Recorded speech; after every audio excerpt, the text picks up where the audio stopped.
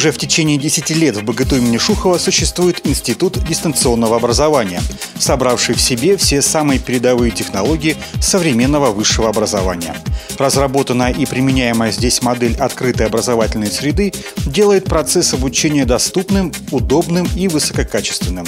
Об успехе этой модели говорят такие факты, как увеличившееся количество выпускников института и расширение региональной сети – Сейчас институт имеет свои информационно-методические центры в 40 областях России, и на данный момент более 3000 человек получили здесь высшее образование.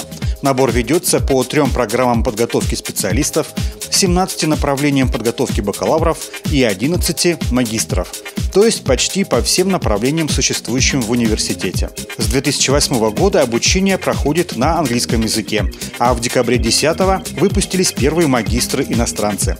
Преимущество дистанционного образования перед классическим заочным очевидны.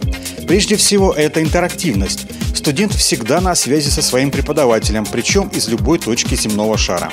Кроме того, постоянное обновление информации, гибкий учебный график, возможность выбора личного образовательного алгоритма многоуровневое учебно-методическое обеспечение.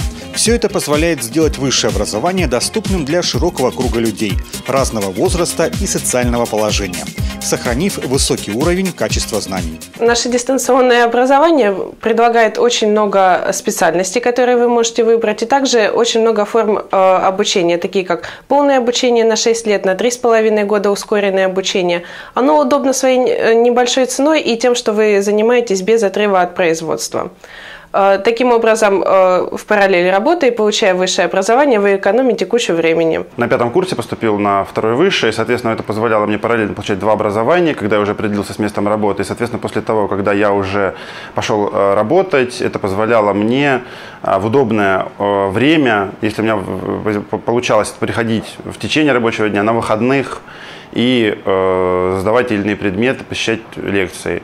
Соответственно, это позволяет просто намного э, оперативней. Э, то есть, допустим, если человек учится и требует э, повысить свою квалификацию, это незаменимая форма обучения, которая позволяет без отрыва от работы, от производства повышать свою, свой уровень. Интерактивность процесса обучения подчеркивает и сформированная глобальная электронная библиотека учебных ресурсов. Также регулярные видеоконференции, видеолекции, семинары – все это позволяет в режиме реального времени работать преподавателю и студенту, решать актуальные текущие вопросы. Дистанционное обучение сегодня – это очень удобно, выгодно, качественно, доступно для многих э, жителей нашей страны, даже удаленной территории от нашего университета, от нашего города. Хочу поздравить э, с десятилетним юбилеем э, всех сотрудников Института дистанционного образования.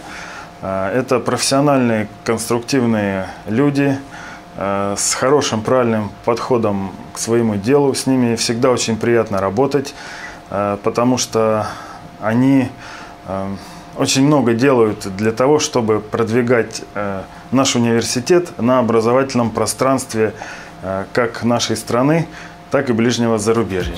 Качественное образование современными технологиями – этот принцип в институте используют предельно успешно. Большая часть мировых образовательных систем, применяющих методы дистанционного обучения, базируются на инновационных информационных технологиях и ресурсах сети интернет. У института несколько сайтов, в том числе и на английском языке, страницы в социальных сетях.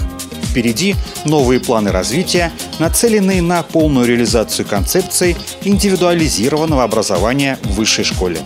Одной из стратегий, из линии стратегии развития является развитие программ дополнительного профобразования, то есть создание полноценной многоуровневой э, системы открытого образования, именно открытого, общедоступного образования, ориентированного на потребности потребителя в том или ином регионе стране, на социальный уровень наших граждан, на необходимость практикоориентированного обучения, э, необходимость реализации тех проблем, которые существуют в конкретном регионе, устранение тех потребностей, которые существуют в регионе.